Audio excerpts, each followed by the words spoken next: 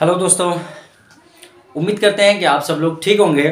तो दोस्तों, आपको मैं फिर से बताऊँ, जो नए लोग वीडियो देख रहे हैं कि हम ज़ीरो से लेके और आईसी लेवल तक का प्रोग्रामिंग वगैरह यूफाई बॉक्स जेटेक्स वगैरह सब कुछ अपने इस क्लास में यूट्यूब पर फ्री में आपको सिखाने वाले हैं।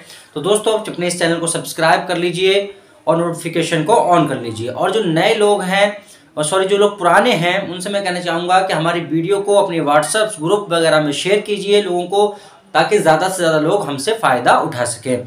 तो दोस्तों, आज का हमारा क्लास है नाइन और आज हम बताने वाले हैं क्रिस्टल के बारे में। जो लोग काम करते हैं, वो जानते हैं क्रिस्टल क्या होता है, जो नहीं करते हैं, बिल्कुल फ्रेशर हैं। उनको मैं इसी वीडियो में दिखा भी दूँगा प्रैक्टिकल भी कि क्रिस्टल क्या होता है, ठीक है? तो हम शुरू करते हैं अपनी इस वीडियो को।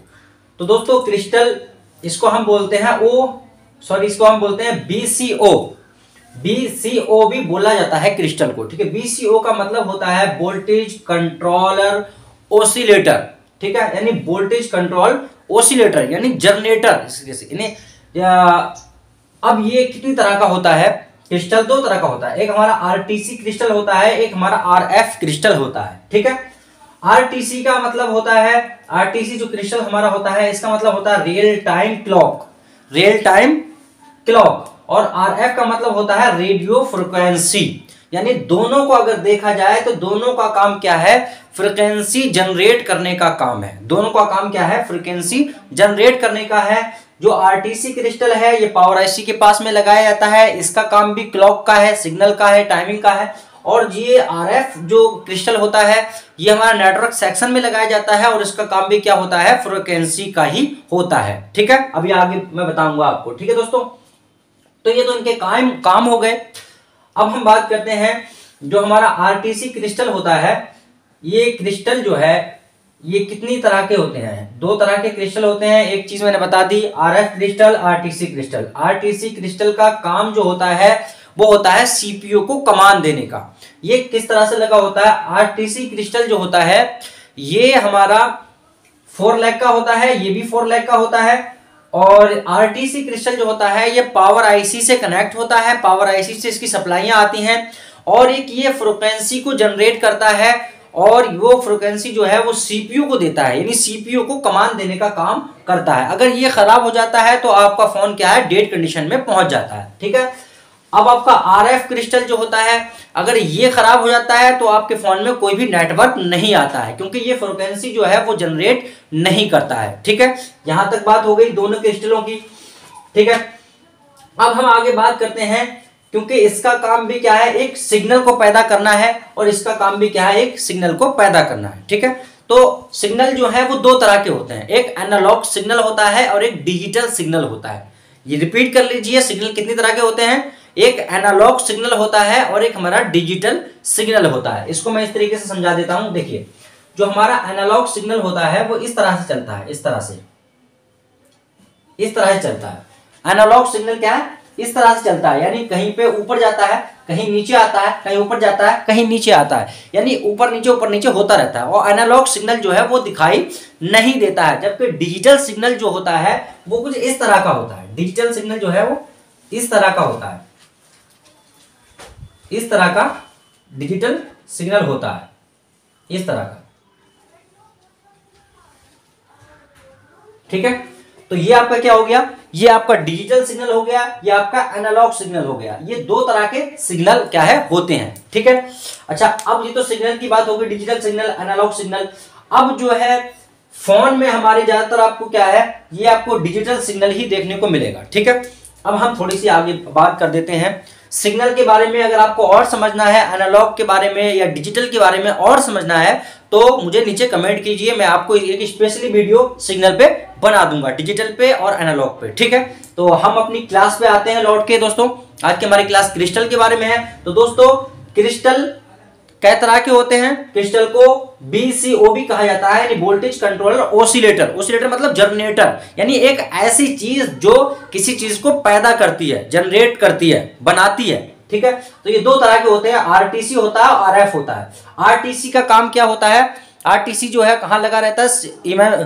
पावर आईसी के पास में लगा रहता है और आरटीसी जो है पावर से कनेक्ट होता है। ये सप्लाई पावर से इसको मिलती है और ये कमांड देता है किसको? सीपीयू को। यानी जो ये जनरेट करता है, ये जो जनरेट करता है फ्रिक्वेंसी को तो वो फ्रिक्वेंसी क्या है? सीपीयू को देता है। आरएफ सिग्नल कहाँ लगा रहता है? आरएफ क्रिस्टल सॉरी ये आरएफ क्रिस्टल लगा रहता है आपका नेटवर्क सेक्शन में और ये जो फ्रिक्वेंसी कनेक्ट करता है, ठीक है, वो इससे रहती है डब्ल्यू टी आर वगैरह, जो आर लगी रहती हैं, उनसे कनेक्ट ये रहता है, ठीक है? ये खराब होने से आपका फ़ोन डेड हो जाएगा और ये खराब होने से आपके फ़ोन में नेटवर्क नहीं आएँगे। ये बातें हो गई। इनकी किस्में हो गई, इनके काम हो गए, ठीक है? अब थोड़ी सी और डिटेल में आपको बता देता हूँ। अब देखो, डिटेल में इसको इस तरह से समझो। आपको आरएफ का तो मामला खत्म हो गया, आरएफ तो सेट सेट आ दो, ठीक है? हम बात करते हैं आरटीसी की, यानी रियल टाइम क्लॉक क्लॉक का मतलब भी सिग्नल ही होता है अब भी जानते हैं, ठीक है? क्योंकि मैंने बताया सिग्नल क्या दो तरह का होता है डिजिटल और एनालॉग ठीक है? डिजिटल सिग्नल जो होता है, वो हमें क्या दिखाई देता है? जैसे डिजिटल मल्टीमीटर आपको समझ सकते हैं। और एनालॉग जो होता है ये हमें दिखाई नहीं देता है। ठीक है?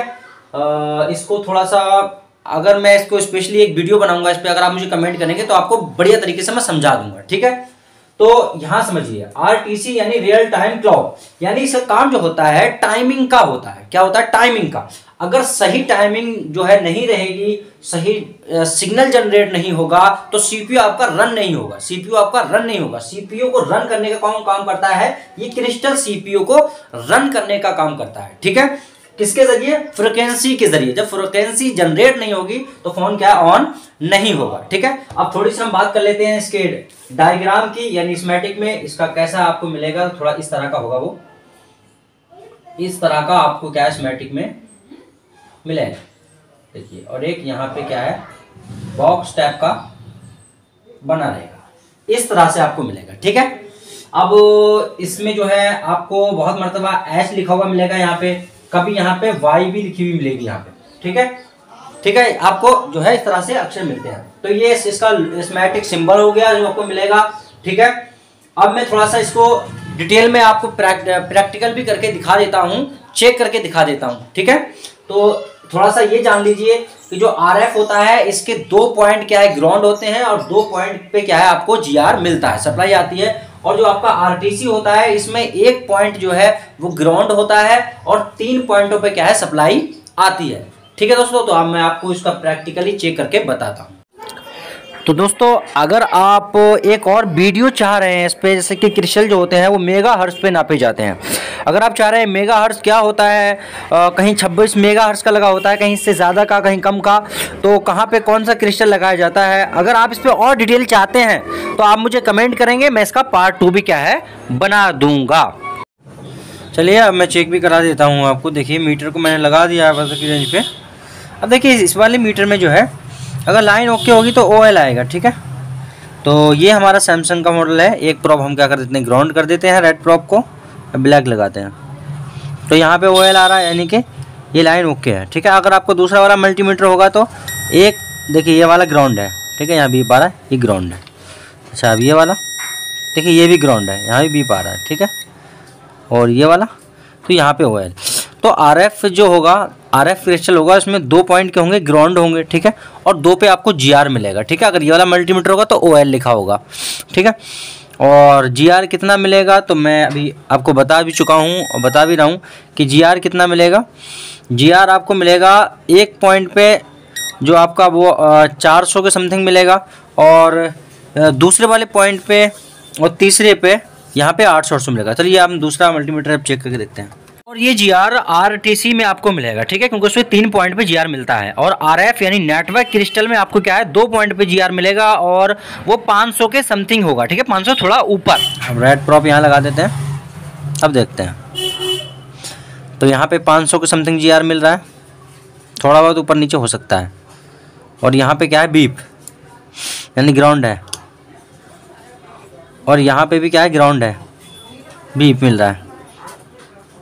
और यहाँ पे देखिए जी आर मिल तो ये क्या है? आर एफ़ क्रिस्टल था, जिसके दो पॉइंट ग्राउंड थे और दो पे क्या जी आर मिल रहा था। अब हम आर टी सी क्रिस्टल को भी चेक कर लेते हैं। आर टी सी को कि हमारा सही है कि ख़राब है, क्या हमें जी आर मिलेगा?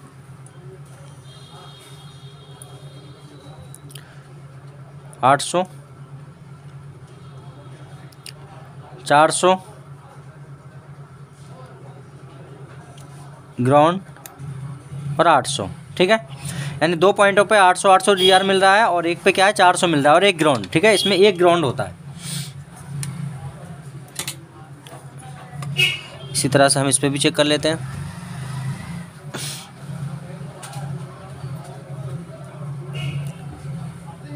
ग्राउंड है। यहाँ देखिए, तकरीबन नौ, आठ सौ से ऊपर जीआर मिल रहा है और यहाँ भी आठ सौ से ऊपर जीआर मिल रहा है। और यहाँ पे चार सौ के समथिंग जी मिल रहा है। समझ गए? और एक ग्राउंड है। तो दोस्तों, अब ये ख़राब है या सही? अब सिंपल लफ्ज़ों में ये भी समझ लीजिए। देखिए आरटीसी क्रिस्टल में एक पॉइंट ग्राउंड होता है, ठीक है? और आरएफ क्रिस्टल जो होता है नेटवर्क क्रिस्टल उसमें दो पॉइंट ग्राउंड होते हैं, ठीक है? तो अगर दो पॉइंट से ज़्यादा पे बीप मिल रहा है तो आर ख़राब है, ठीक है? और आर में अगर एक पॉइंट से ज़्यादा पे बीप मिल रहा है तो आर ख़राब है। सिंपल है। ठीक है दोस्तों, वो क्या है, कहीं ना कहीं से शॉर्ट हो गया है। तो आपको क्या है, उसके बाद में जब आपको बीप मिल रहा है आर एफ़ क्रिस्टल में अगर आपको तीन पॉइंट है वो बीप मिल रहा है तो निकाल के आपको क्या है चेक करना है। ऐसी आर में भी आपको अगर बीप मिल रहा है, आपको लग रहा है शॉर्ट है तो फिर आप क्या है, उसको निकाल के चेक करेंगे। ठीक है दोस्तों आई होप ये वीडियो आपको पसंद आया होगा। दोस्तों वीडियो दूसरों तक ज़रूर पहुंचाइए और चैनल को सब्सक्राइब कर लीजिए।